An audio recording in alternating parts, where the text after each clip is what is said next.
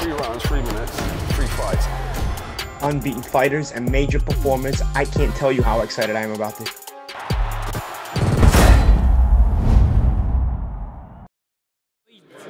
Kugan Cassius, IFL TV, MTK Global. We're in Belfast here for the press conference, final one for Frampton Donaire.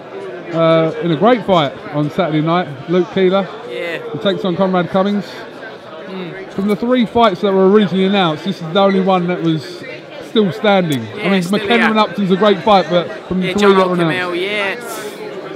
Yeah, I just I, I said it, and even Frampton said it. There's cliches about camps, but I, I, I, I know this is the best ever I've been. You know, uh, I said at the press conference like I gave up my full time job at Christmas. I'm training twice a day with a new coach, Pete Taylor, and like everything is going better than ever did. You know that way. It took me till 30 years of age to actually uh, take the jump. You know, take to have the balls to do the jump, but.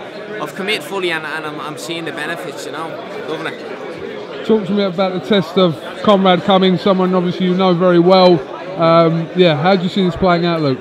Yeah, look, he, he's a tough guy. He's a good fighter. Uh, but I always perform well with someone coming forward, and he, he comes forward like he's not he's not too reckless. He comes forward with, it, with, with a tough, like with a decent jab. Like I don't think it's going to be too much of a war. I think it'll be, it'll be a bit more boxing. People are thinking it's going to be a war, but uh, like I see it just.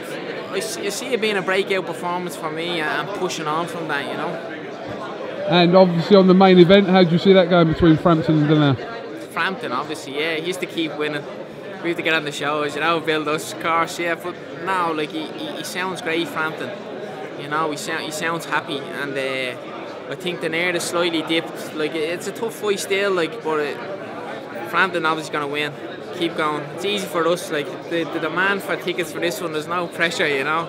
So uh, hopefully he keeps going and we can build behind him, you know. Luke Keeler, thank you very much for talking to IFL TV. Is there anything else you'd like to add? Oh, that's it, yeah, spot on, thanks. All right, no problem. Thank you, Ciao. mate.